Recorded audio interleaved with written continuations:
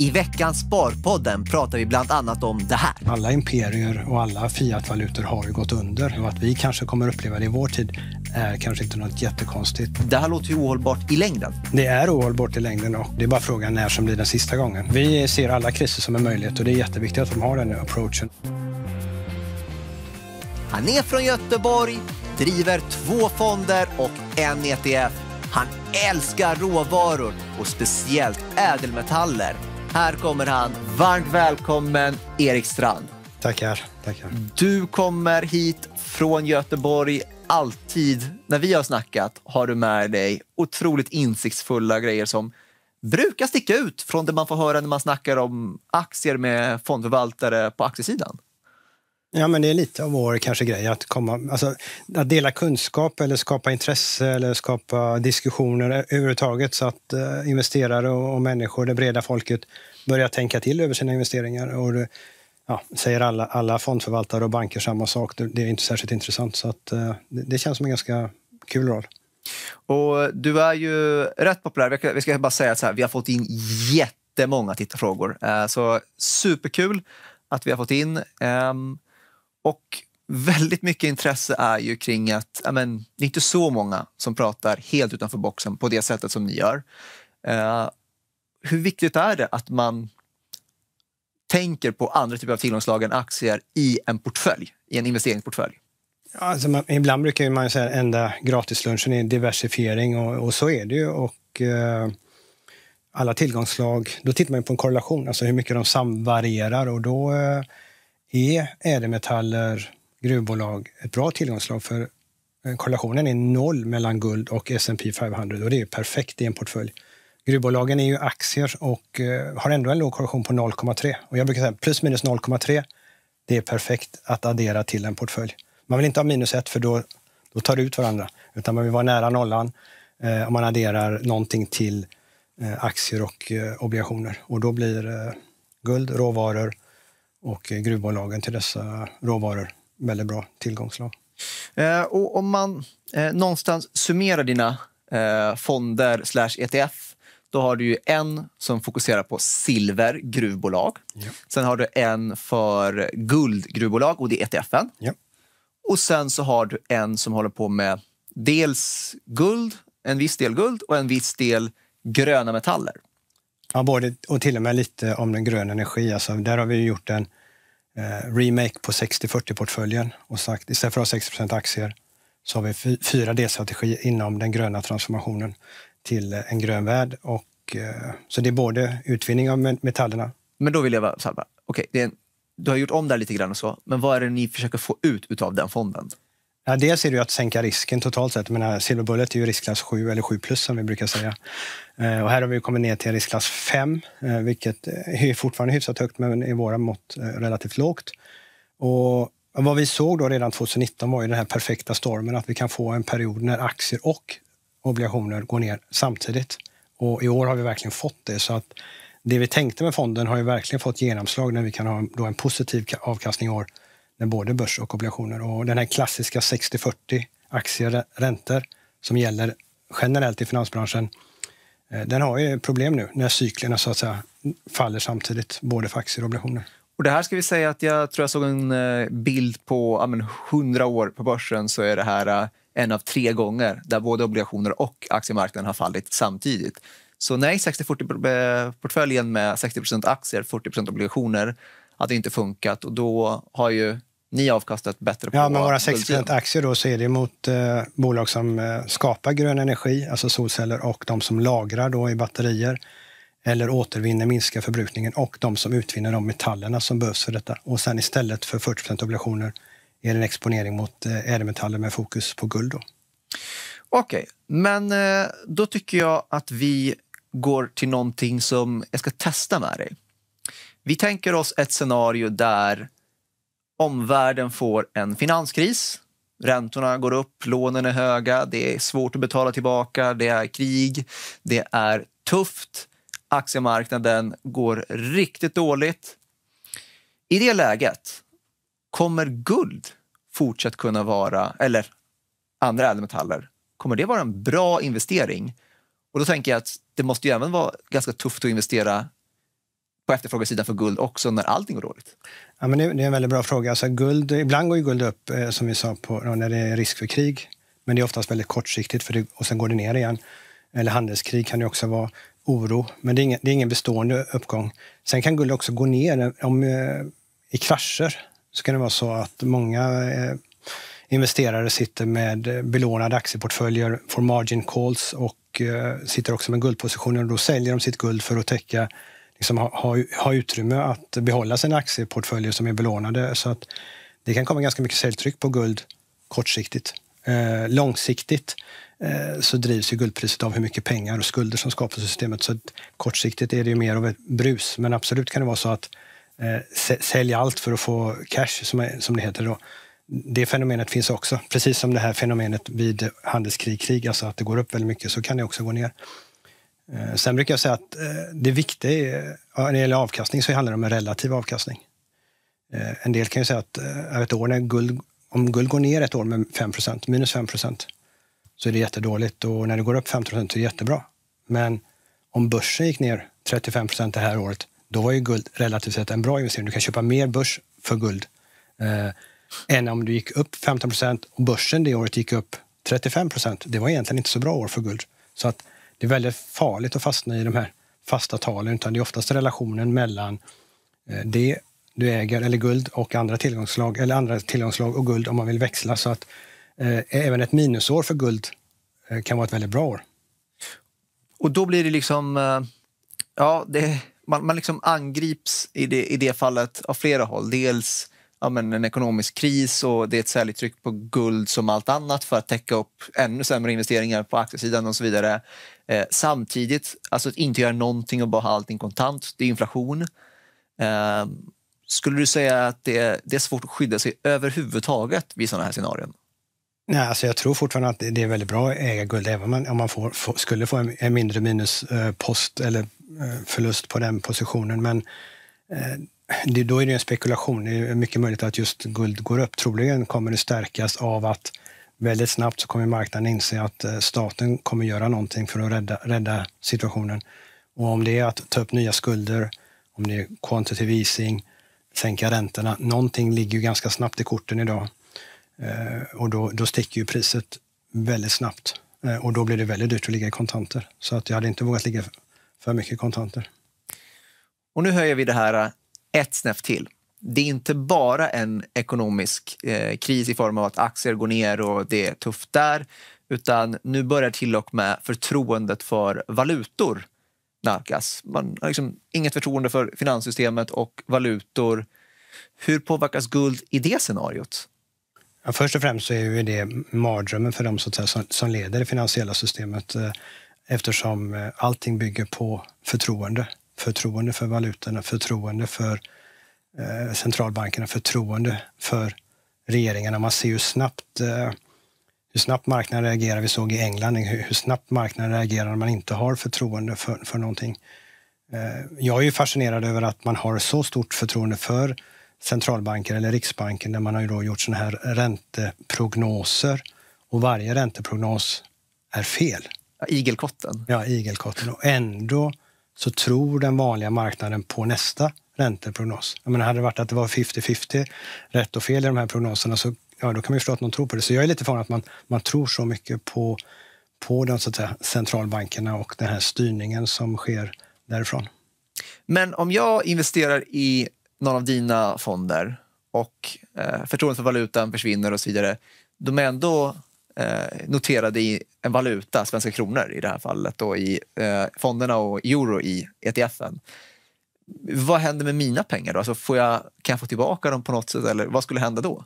Alltså när det gäller valutor så, så måste man eh, se att en, en, handelsvaluta i ett tillgångslag påverkar inte avkastningen. Så att, att den är SEK, det betyder ingenting utan det är den underliggande marknaden som, som påverkar bolagen. Så att eh, handelsvaluta spelar ingen roll. Om du köper vår fond i SEK eller euro och sen växlar tillbaka pengarna i andra sidan så kommer du ha lika mycket. Så att eh, det, handelsvaluta är bara ett praktiskt eh, instrument. Och det är det vi använder. Vi, har, vi använder euro för att eh, det är lättare för någon i Finland att investera i euro för det är deras valuta. Lättare i Sverige att använda SEK. Men till min fråga då, säg att mm. uh, det är en kö utanför banken, alla vill få ut sina grejer, det är liksom totalt kaos och jag kommer och ringer dig, Erik, jag har investerat i dina fonder.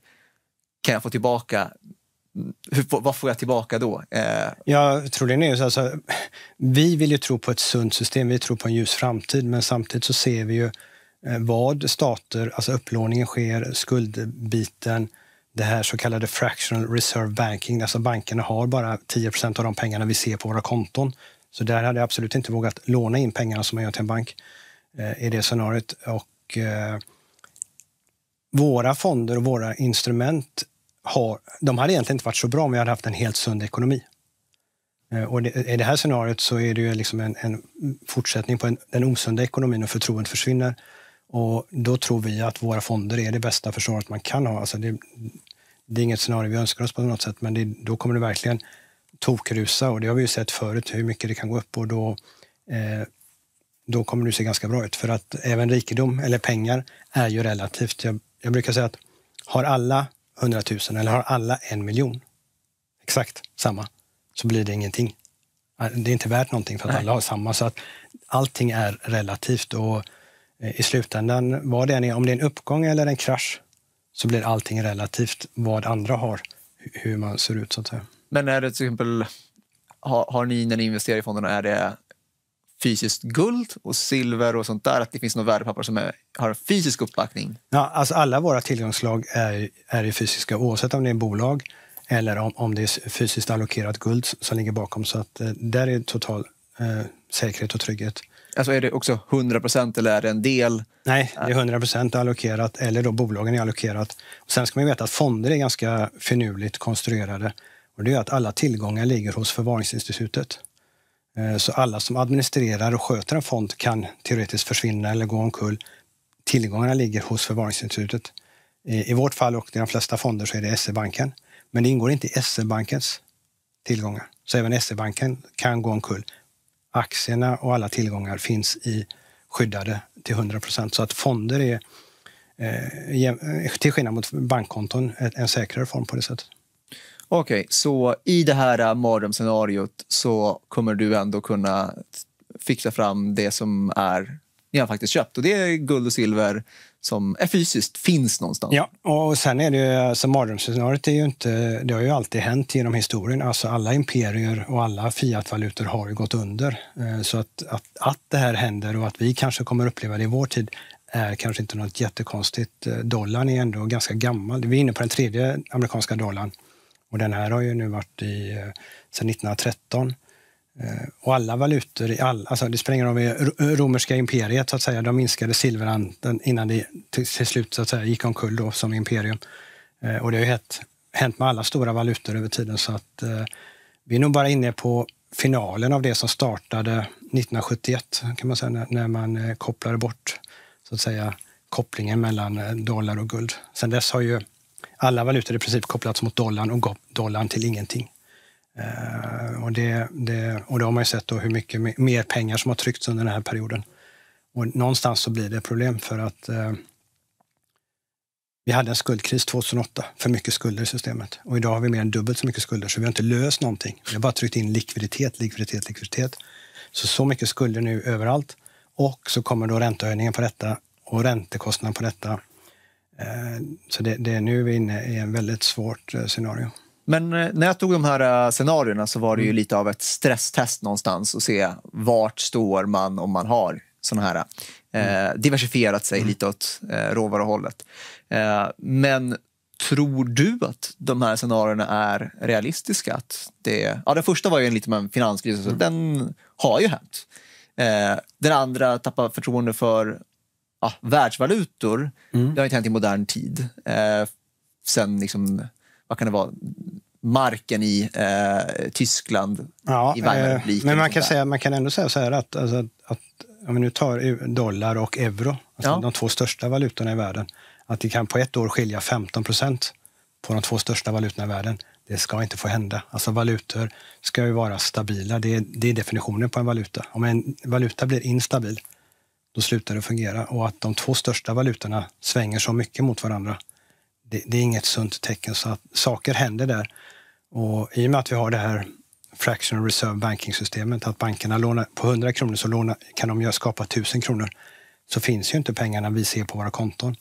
Och det kan bli en förtroendekris och det 2017 var det väl som Banco Popular inte kunde möta uttagen där, så det blev en bankkris i Spanien och eh, Santander fick köpa dem. Alltså, på eftermiddagen, på kvällen var de tvungna att bestämma sig och Santander köpte den andra banken då för att kunna betala ut pengar. Så pengarna finns ju inte riktigt om alla vill ha ut dem samtidigt. Men eh, har inte det här blivit bättre sen finanskrisen? Man har ju fått höra om Dodd-Frank och andra eh, reformer för att ja, förbättra den säkerheten.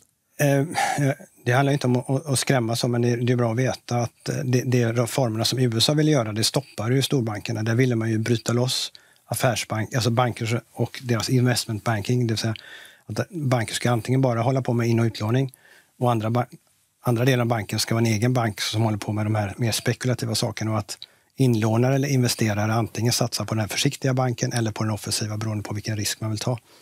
Eh, för att särskilja detta, det ville inte banken och de lyckades stoppa den här riktigt stora förändringen man vill göra för att stabilisera systemet. I Europa så eh, ändrades ju EU-lagen att man får inte göra det här bailout. Alltså att, att staten går in och räddar, utan nu ska man ju ta pengar från obligationsinnehavarna och aktieägarna såklart, de ryker ju först. Och de eventuellt då som har lånat in pengar på banken. Så att det är ett helt annat regelverk för att försöka rädda systemet. Men med, med så mycket skulder i systemet så, så är det svårt. Och Okej, okay, mycket skulder, eh, mycket osäkerhet. Men jag vet ju att när jag väl pressat dig så har du historiskt, ja, men det har alltid varit pessimistiskt men samtidigt har du haft en optimism. Att ja, det här är det, lite, det här är liksom, var vi lite pessimistiska, lite djupt, ja. man blir lite ledsen men, men uh, men du har ju sagt att när det är kriser, då är det också en möjlighet, speciellt för unga. Absolut, och vi ser alla kriser som en möjlighet och det är jätteviktigt att de har den approachen. Och lite kan man säga så här att en, en riktig krasch gör det mycket mer eh, värdefullare för unga och deras löner. Alltså när börsen var på topp så fick du inte mycket aktier för din nettolön.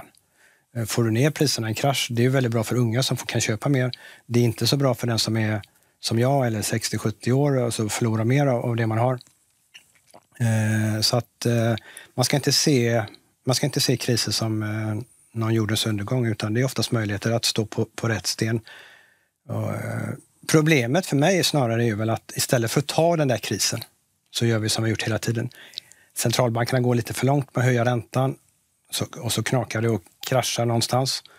Och då går de in och sänker räntorna igen. Och det tror jag kommer hända igen. Så att jag tror ja, vi, vi får, de, de kommer gå för långt för de kommer inte veta var de ska vända. Men så fort det får en riktig smäll någonstans så vänder de, börjar sänka räntorna och så fort marknaden känner det så är det uppåt överallt. Om det spelar ingen roll om det är aktier eller guld eller silver. Men, eh, en så det, det ja. kan man ju säga att det är positivt att vi kommer se uppgångar igen. Sen kan man ju då diskutera vad de eh, pengarna är värda sen, men det är en annan sak. Men okej, okay. vi har, som jag förstår det rätt, det är skulder vi har Mm. Sen, och det beror på att vi har haft låg ränta som tryckt upp skulderna. Eller ja, många har tagit, belånat sig och utnyttjat den här situationen. Och ja, det var lätt att låna. Ja. Ja. Och sen så har ju räntorna gått upp nu för mm. att eh, motverka inflationen. Och då menar du på att ja, men, sen kommer det bli för smärtsamt så att de kommer börja liksom sänka räntan igen. Men då skjuter man väl bara upp det här problemet framåt. Ja. Alltså, för då kommer det återigen samma. Ja. Fler kommer belåna sig och så vidare. Eh, det här låter ju ohållbart i längden. Det är ohållbart i längden och det är bara frågan när som blir den sista gången. Alltså när det här sandkornet som gör att det, det, det rasar. Men jag tror, jag tror inte det är den här gången. Utan eh, det är kanske gången efter. Jag tror att det, eh, nu kommer man, istället för att låta det krascha så kommer man hellre trycka in mer pengar och rädda det systemet igen. Men någon dag kommer vi tillbaka till det du var inne på. Var är förtroendet för de som gör de här, försöker styra ekonomin? Eh, och problemet är att eh, de försöker nu då rädda den... Man har skapat problemet själva och så ska man stå på andra sidan och vara duktig att man har räddat det man har skapat. Det blir, det blir lite, faktiskt, lite absurt eh, när det gäller centralbankerna där. Eh, men om man eh, vänder på det så många personer jag pratar med som, eh, som du som investerar mot råvaror så väljer ändå att ha också en hel del aktier i sin portfölj. Ehm, hur gör du? Är det liksom bara råvaror för dig eller kör du också aktier? Eh, och nu menar jag så här, aktier inte mot råvaror. ja, exakt. Eh, nu är jag ju sån att jag är all in i, mina, i de fonder vi har, så att jag har inte så mycket att välja på där. Eh, men eh, när jag pratat förut så har jag väl sagt att eh, jag är positiv ändå någonstans till aktier, men har varit eh, väldigt negativ till räntor. Det är snarare den delen man har bytt ut. Så det är positivt i aktien. Då. Men jag tycker att vi tar en eh, tittarfråga som vi fick om eh, här, från Johannes. Vad tycker Erik om Riksbanken? Och här har vi fått höra en liten eh, grej där. Men skulle han vilja se ett banksystem utan det? Och i så fall, hur skulle det systemet se ut i runda slängar? Så kort och gott, du gillar inte Riksbanken. Vad vill du ha istället? Ja, eh, om, vi, om vi gillar dem eller inte, man ska veta historien bakom hur, hur riksbankerna startades, alltså med Stockholm Bank och som, eh, där bankdirektören blev dömd till döden då för att man hade tryckt upp för mycket pengar redan då. Eh, ja, man kan säga så här, förut så var det så att centralbanker inte jobbade med den långa räntan, alltså man tryckte inte pengar, quantitative easing som det heter, och eh, man styrde mer med den korta räntan. Men man hade ingen kommunikation utan man, det var tyst och man hade ett möte och sen kom ett beslut. Det här är den nya räntan. Och det här eh, på engelska forward guidance, att man ska prata om hur kurvan kommer se ut och vi kommer göra det som behövs, var inte oroliga. Eh, det tror jag var väldigt skönt att göra i början efter finanskrisen.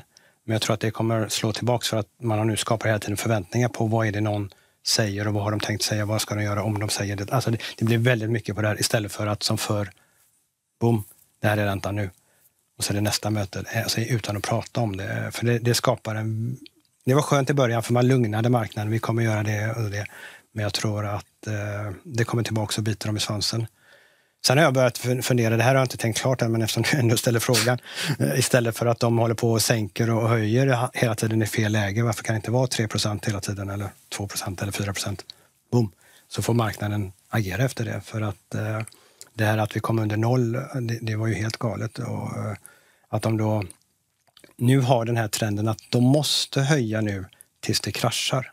För skulle de vända innan det har kraschat någonstans, alltså inte hela systemet, men att det börjar krascha blir ju riktigt obehagligt. Skulle de vända innan det, för alltså känna att nej, men nu är det lagom, och så blir det fel i det, då, har de liksom inte, då kan inte de back, backsäga att nej, men vi, vi vände det vi, vi behövde vända, utan då blir det deras fel. Och jag tror det värsta de kan vill ha, det är att ha fel. Eh, och då kör de hellre så länge, för långt upp höja för långt ner och sänka istället för att försöka lägga sig, vad borde den räntan vara idag? Vad är priset på pengar? Okej, okay, så... så jag är, ja, jag det finns, ja, vi, vi, vi, vi, kanske inte behöver dem för att incitamenten i marknaden blir väldigt eh, fel, snedskruvade och eh, jag tycker det, det är synd om investerare för alltså när allting gick så väldigt bra och börsen upp så kom många in kanske på slutet och började köpa när det går upp. Ja, och så kommer, ja. kommer nedgången och så sitter, och det är ju, det är privat, individuella privatpersoner som drabbas av detta. Eh, och vissa mer än andra. Och det, det, blir, jag ska inte säga att det är orättvist att man handlar om rättvisa, men, men det är lite synd att man eh, luras in i, i det beteendet och att man kanske då hamnar snett. Och det, jag tycker alltid synd om individer i det fallet. Senare i Sparpodden. Guld är ju i princip oförstörbart. Vi måste ta de två starkaste syrorna som finns, kombinera dem för att överhuvudtaget kunna påverka guld. Familjen Lundin som är superkända och superduktiga på, på eh, gruvdrift och gruvbolag, eh, de är egentligen experter på svåra länder. Och det kan man få ganska mycket betalt för. Och de som eh, lyssnar på det här nu och tänker så här, men alltså, man har kanske tagit en smäll. Eh, man började vid coronan, det var många nya kunder eh, under coronaåret eh, 2020 och sen så har de kommit in nu och det har inte gått så jättebra i år mm. som det uh, har varit breda fall på nästan allt så gott som. Och då lyssnar de på den här podden och tänker, ja men okej, uh, men härifrån, så här, är det attraktivt att investera i, mot råvaror nu? Är det, eller är det det finns alltid en risk. Ja, ja det finns alltid en risk. Ja. Jag tror alltså råvaror, dels är de många råvaror eller råvaror ganska lågt värderade så att den risken är låg. Många av bolagen har eh, minskat sin skuldsättning jämfört med andra branscher, vilket minskar också risken. Det andra är ju att eh, guld och silver som monetära metaller eh, ska säga, mår bra att det trycks pengar, men, men det, eftersom de är konstanter så förlorar valutorna sitt värde, vilket är bra. Eh, och tittar vi på de andra metallerna som behövs i den här gröna omställningen eh, så kommer de ju verkligen behövas och det är ont om dem. Eh, och det krävs väldigt mycket mer. Jag brukar ta den här elbilen att du behöver dubbelt så mycket silver. Du behöver tre till fyra gånger så mycket koppar i en elbil som en vanlig bil. Och i varje solkraft, eller solceller, vindkraftverk, överallt behöver de här metallerna. Eh, samtidigt eh, vill vi vara mindre beroende av länder som vi kanske känner som lite mer osäkra. Som vi nu har haft Ryssland. Man kanske inte var, längre var beroende av Kina när man börjar tänka efter. Eh, kanske måste vi börja producera mer lokalt, alltså i Europa. Det kommer inte bli billigare. Så att där finns mycket potential. Här måste jag stoppa dig, för du sa någonting jätteviktigt här. Du sa att vi vill göra oss mindre beroende av dels Kina, Ryssland försöker ja. vi ju redan i all eh, takt. Eh, när du investerar mot de här eh, gruvbolagen, ja.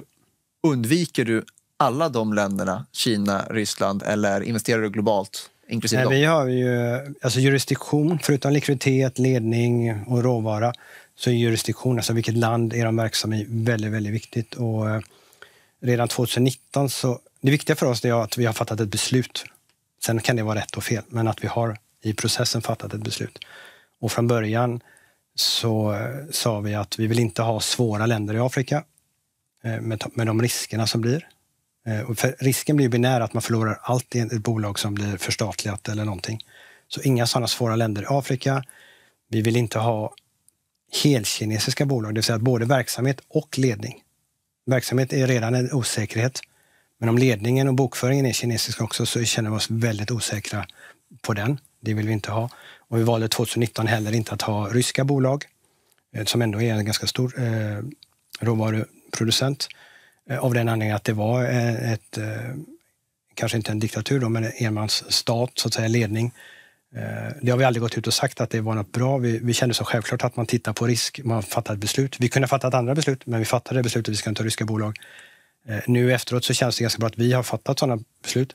När vi ser andra eh, som då idag säger att de har varit duktiga och ordentliga och sålt sina ryska bolag. Eh, Men ni gjorde det 2019? Redan? Vi, ja, vi gick aldrig in i dem. Uh, För så... att vi, vi, vi, den risken, man måste titta på dem, sådana risker också, inte bara se hur bolagen går, utan uh, det finns andra risker. Men vart hamnar du då? Är det Australien? och... Ja, tittar vi då, som vi börjar med Silver, Silver Bullet-fonden, då, så uh, silver 60 procent av allt silver utvinns i Nord och Sydamerika. Så vi slipper ganska mycket redan automatiskt där.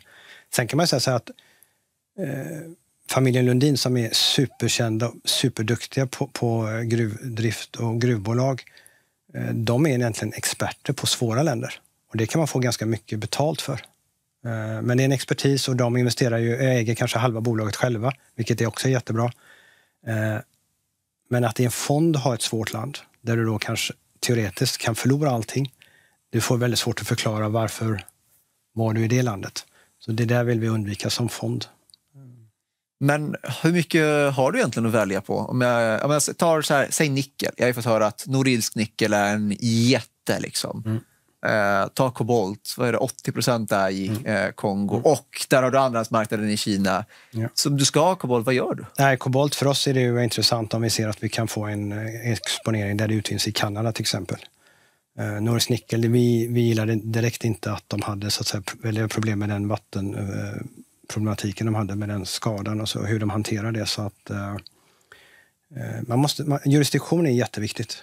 Eh, och sen är det viktigt var inte bara var det utvinns, utan var ledningen sitter. För att om ledningen sitter i Sverige, eller USA, eller Kanada eller något, vilket land som helst, England, eh, då vet man liksom att de, har, de ser det på vårt sätt.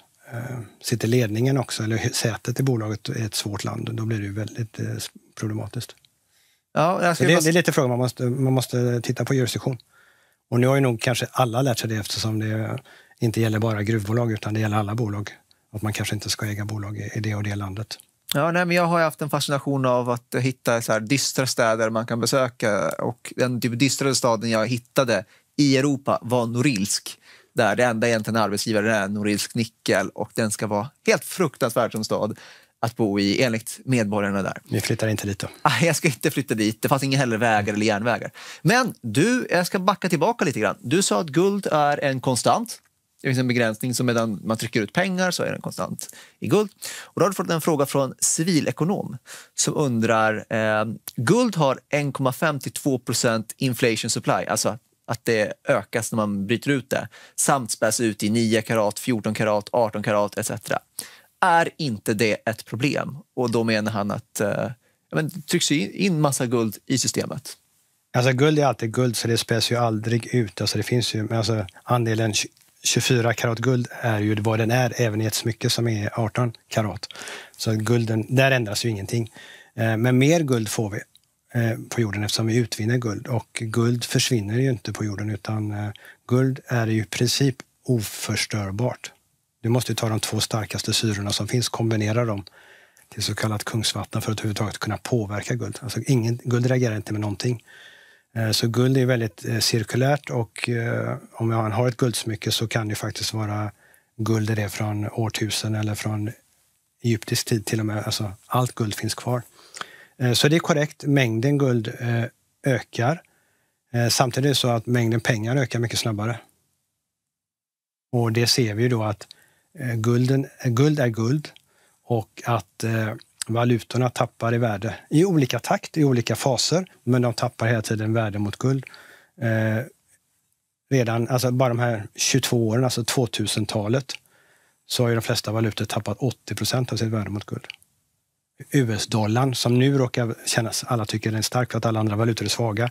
När man släppte den här kopplingen 1971, och 15 augusti, sen dess har eh, eh, dollarn tappat 97,3 procent i värde på lite drygt 50 år. Mot samma mängd guld. Ja, så där ser man ju, alltså det här, ja, mängden guld ökar, men mängden pengar i systemet ökar väldigt mycket snabbare, vilket gör fiatvalutor, alltså de pengarna, mindre värda. Då. Och nyckelfaktorn är den här differensen i mängden. Ja. ja okay.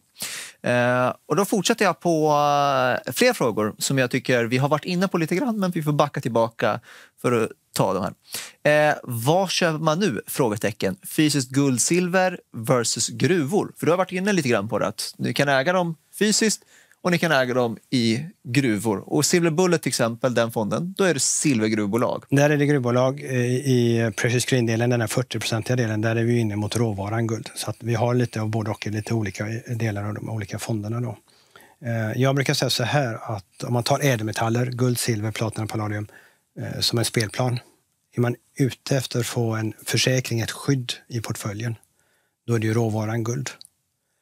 Börjar man titta på men vänta, det här området är intressant för avkastning, alltså inte bara som skydd, utan här kan jag få bra avkastning. Eh, då, man, då, klättrar man på skalan och eh, då kommer man till silver, man kommer till guldgruvbolag och högst upp kanske på skalan då ligger silvergruvbolagen. Eh, så att det beror lite på vad, vad är man intresserad av, vilken effekt vill man ha i sin portfölj. Ja, men brukar man inte säga att eh vad är det? Silver är ju eh, guld fast på steroider och silvergruvbolag är steroider på steroider. Ja, det, det sägs så. Det, det, jag tycker det, det är ett lite konst, konstigt ord. Det finns ganska många konstiga ordval som, som, som, inte blir sanningar men som sen används. Eh, men absolut, silver är en mindre marknad. Eh, den är mer eh, volatil då eftersom den svänger mer. Eh, sen är silver intressant för att i silver finns inte de här lagren som finns av guld. Och silver är nödvändigt för industrin. Alltså varje mobiltelefon, dator, solcell, vindkraftverk, varje bil, allting behöver silver. Världens näst mest använda råvara och det finns inga reserver eh, ovanför jorden.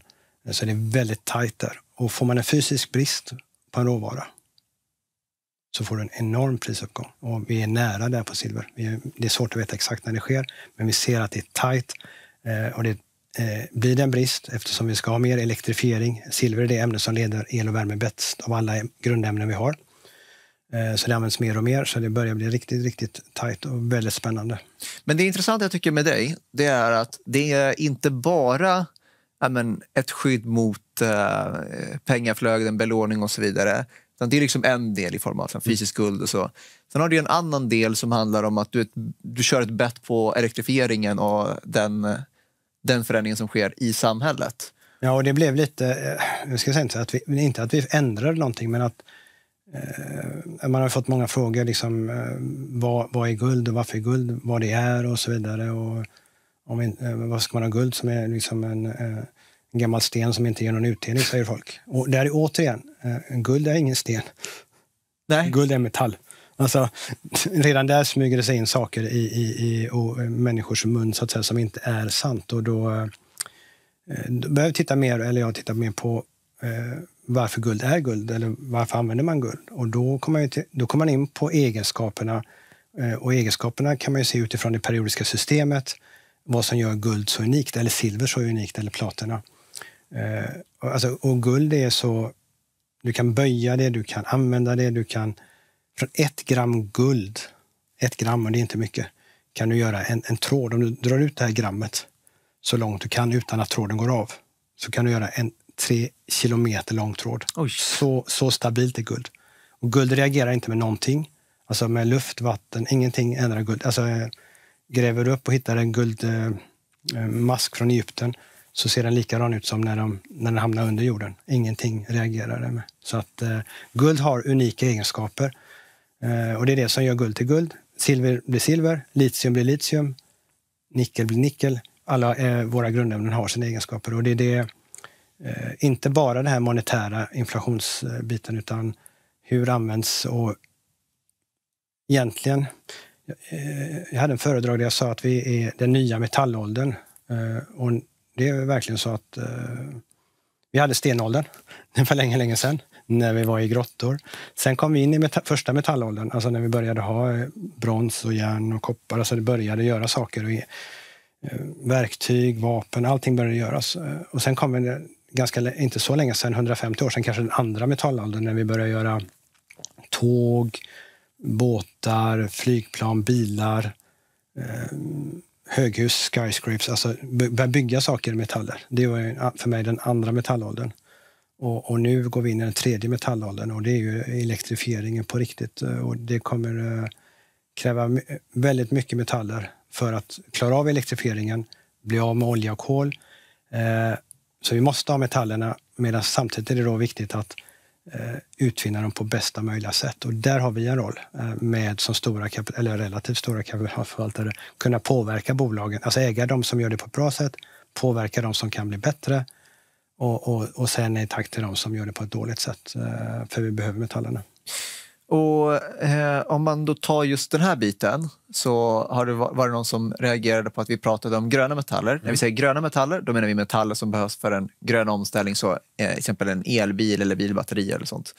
Eh, och då är ju kritiken, gröna metaller är ju inte så gröna alltid på att framställas. Ta kobolt så är den ju allt annat än grön eh, längs den vägen. Är, hur, hur tänker du kring den problematiken? Ja, eh, det är lite roligt att både du och jag en gång hörde att en bil innehåller bara stål, men så är det ju inte.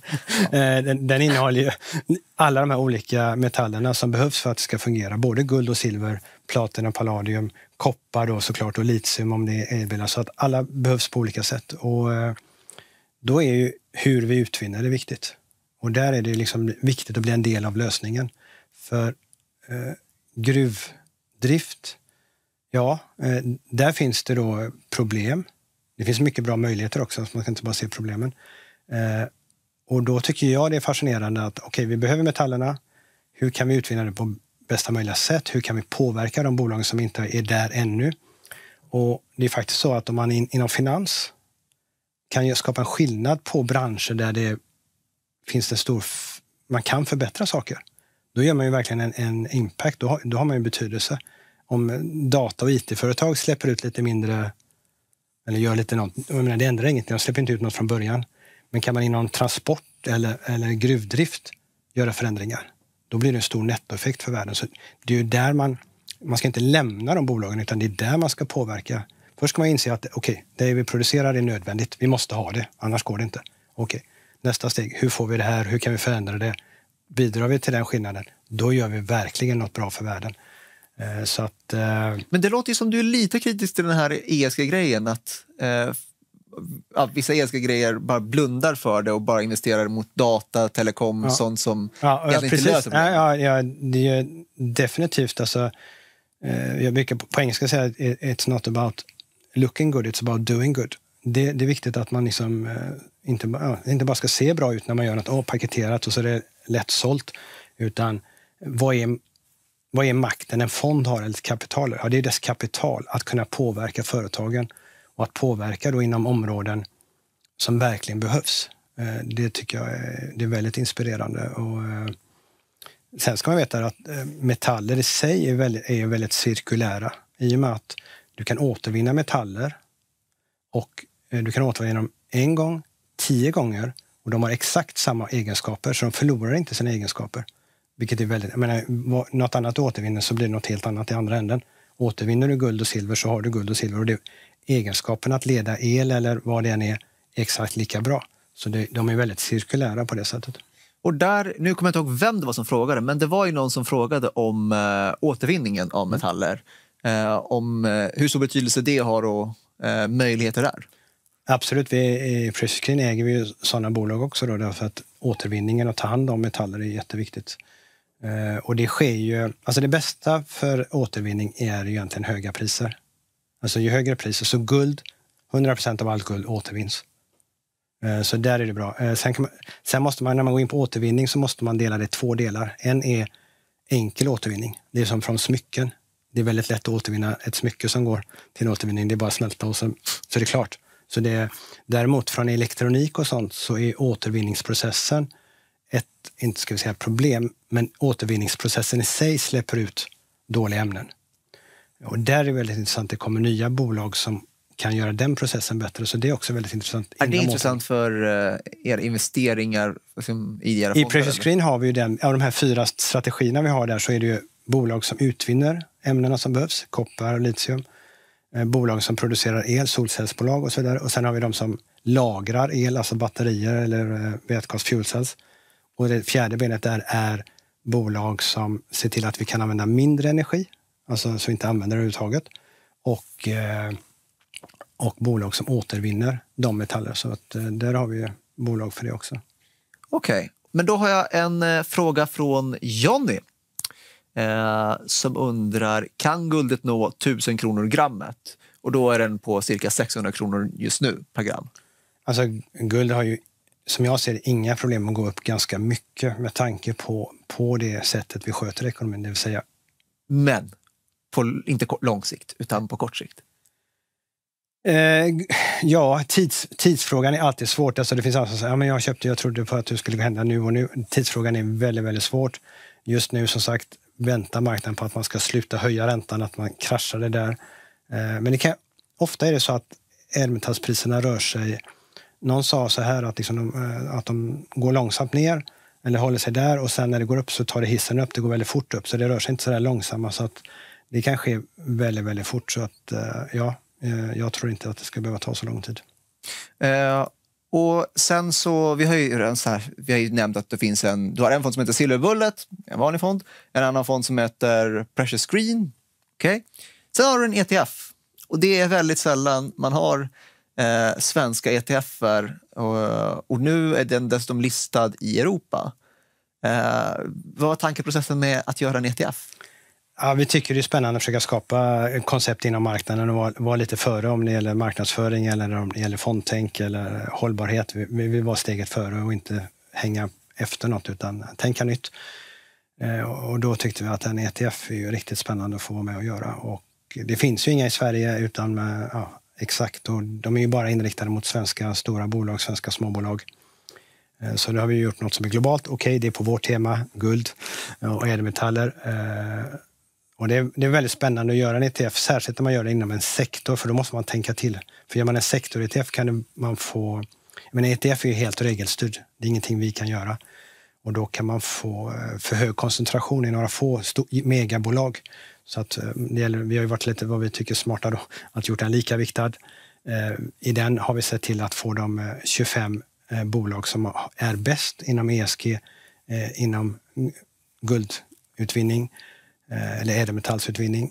Så att vi får, den får ju väldigt bra rating alltså när det gäller det här med Glober. Det är inte så att vi tycker det är det viktigaste, men den får ju sina fem Glober och den har på MSCI högsta rating man kan ha, både inom sektorn men också högsta rating inom alla kategorier av fonder.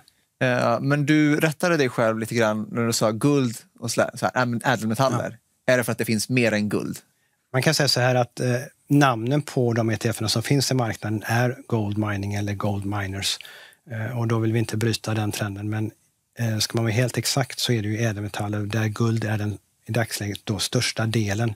För inga gruvbolag utvinner bara guld utan man utvinner guld, platina, palladium. Eller tvärtom, vill man, är man ute efter platina och palladium så, så hittar man guld och silver. Eh, så jag brukar säga att det blir ungefär 70% guld och 20% silver och 10 platina palladium exponering. Och den här fonden når man, eh, den vet, jag vet att den finns på Nordnet, eh, men den är listad i vad är det, Frankfurt? Den är listad i Frankfurt, den man når i, i Sverige eller Nordnet är, är listad i Frankfurt. Sen är den listad i London i både dollar och pund och sen är den listad i, Parisbörsen, Milanobörsen och Zürichbörsen. Där är det schweizerfranc. Men å, återigen, det är bara handelsvalutor så egentligen spelar det ingen roll var man köper dem. Men eh, från Sverige så blir det Frankfurtbörsen etc. Och det här är en av våra faktiskt på Nordnet som man kan månadsspara i. Ja, det tycker vi är kul att man liksom, eh, det har inte funnits riktigt möjlighet att göra det förut och det, det har vi sett till att den går att månadsspara i Nordnet. Och eh, Nordnet är ju Eh, om vi nu ändå sitter där, faktiskt väldigt, ja, ska vi säga ledande när det gäller ETF i Sverige. Ja, kul att höra faktiskt. Eh, Erik, superkul att ha dig här. Jag behöver runda av här. Eh, ni som eh, lyssnar på Sparpodden, tack för att ni var med oss. Och kom ihåg att det här finns också på Youtube att se i videoformat. Och ni som ser det här på Youtube, ni ser oss. Tack och på återseende. Tyckte ni om detta? Glöm inte att ge oss en tumme upp och prenumerera. Och dessutom, vill du se mer så har vi fler videor här borta. Klicka!